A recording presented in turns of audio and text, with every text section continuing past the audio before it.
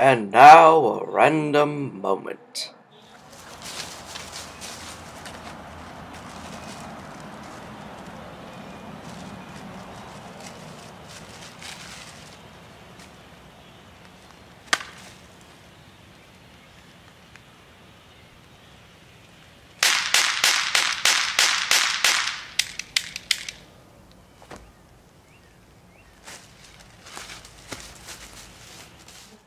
This has been another random moment.